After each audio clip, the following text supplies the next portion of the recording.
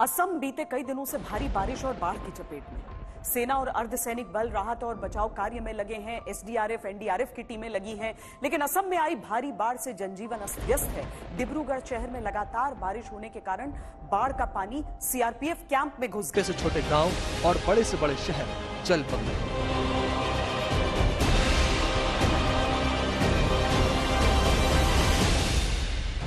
बाढ़ बाढ़ का बहुत मतलब इतना भयानक बाढ़ आया है इस पर लेकिन यहाँ पाँच छह बार बाढ़ हुआ था लेकिन इस बार ऐसा भयानक हुआ है जो आप कल्पना नहीं कर सकते हैं।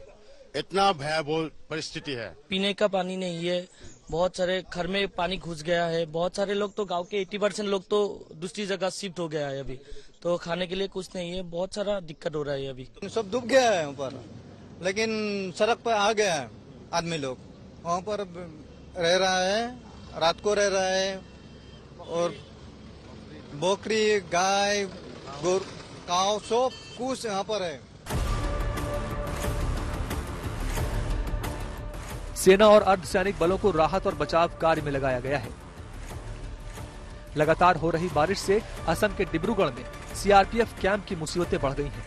केंद्रीय रिज़र्व पुलिस बल की 171 बटालियन के कैंप में पानी भर गया है। जिसके चलते जवानों की बैरकों में पानी पहुँच गया। इसके बाद जवानों को कैंप खाली करके बाहर जाना पड़ा है।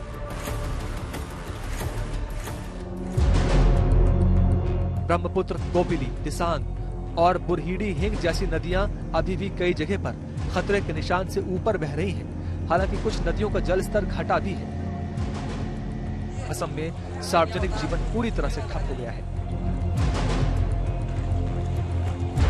बार ये सब पानी में गया और वो हमारा घर डूब चुका है। अब तो ये रोटी हमारा घर बन चुका है। फ़र्स्ट पानी में हम लोग आ रहा अभी तो जाइए नहीं। मैं घर से तो डूब गया। तो हम लोग क्या कर गए, इसे लेकर रहता है हम लोग। तो भगवान जानता है जो क्या होगा और क्या नहीं होगा। तो अभी कैसे चलेगा?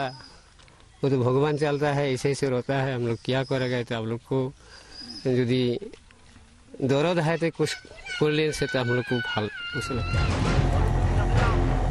सिलचर शहर में लोगों की स्थिति सबसे खराब है। यहाँ साफ़ पानी का संकट है। लोगों के पास पीने के लिए पानी नहीं है। सबको खाने में दिक्कत हो रहा है। खाने के लिए कुछ नहीं है। कोई तो ऐसा हो रहा है कि घर की ऊपर रह रहा है। उसके लिए आर्मी लोग उसका काम कर रहा है रेस्क्यू उसको उठा रहा है उधर से ला रहा है उधर से। पानी यहाँ में मिल रहा है। गाँव में थोड़ा थोड़ा प्रॉब्लम हो रहा है। दूर से काफ़ी दूर से आदमी लोग जो- लूसा में होता है लेवल वाटर लेवल से। बाढ़ की वजह से पचास हज़ार सात सौ चौदह हेक्टेयर की फ़सल को भी नुकसान हुआ है। सिंचाई करने वाली नहरों को नुकसान हुआ है। लाखों की तादाद में घरेलू जानवरों को भी परेशानी उठानी पड़ रही है। एसडीआरएफ और एनडीआरएफ की टीमें लगातार राहत और बचाव कार्य में जुटी हुई है।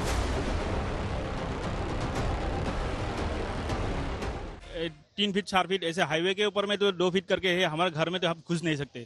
घर में जा नहीं सकते। हम सब कैम्प उठा के हाईवे पे कैंप लगा दिया है। अभी पाँच छह दिन हो गया गाँव में बहुत परिस्थिति बहुत गंभीर है अभी। गाँव का आदमी सड़क में आने के लिए बहुत रेडी है और रेडी और पूरा रास्ता में पूरा भरा हुआ उधर भी पूरा भरा हुआ है। मैं ड्यूटी से आ रहा हूँ। हाँ तो स्कूल भी बंद हो गया है। पानी के बावजूद वो स्कूल बंद दे दिया गया। लोकल एडमिनिस्ट्रेशन ने स्कूल वगैरह बंद कर दिया क्योंकि स्कूलों में ज़्यादा पानी हो गया। हाँ इसीलिए बच्चों स्कूल नहीं जा पा रहा है। और इधर में क्या हुआ नेशनल हाईवे नंबर 15 में अभी काफ़ी पानी है, इसीलिए हम लोग को बास उस नहीं मिला। घर जाना है तो इसीलिए बाइक में ही सवार होके जा रहा हूँ। नुकसान हुआ। अभी इस गाँव में जनसंख्या सिक्स सेवन थाउज़ेंड है। और यहाँ में पानी ज़्यादा हुआ एक कोकल से एक बुक हुआ। और यहाँ यहाँ में जो नाव का कोई व्यवस्था नहीं। बहुत हो गया इसीलिए हम कैसे रहेंगे हम नहीं समझ गया। सब लोग आए सब लोग पानी में डूब गया है क्या करो क्या न करो हमारा माथा खराब हो गया इसीलिए आप लोग क्या करो ऐसा हो गया ना। हमेशा बारिश हो रहा है इसलिए पानी बहुत भर रहा है। जो स्कूल कॉलेज है और नद नदी भी भर रहा है। स्कूल कॉलेज बंद हो गया है। गाड़ी में तसलने के लिए रोड भी क्लोज हो गया है। पानी के लिए सबका लोग का प्रॉब्लम हो रहा है। कोई निकल नहीं सकता है कोई ऑफ़िस नहीं जा सकता है। वो हम लोग का ये दुकान है पूरा पानी ही पानी है।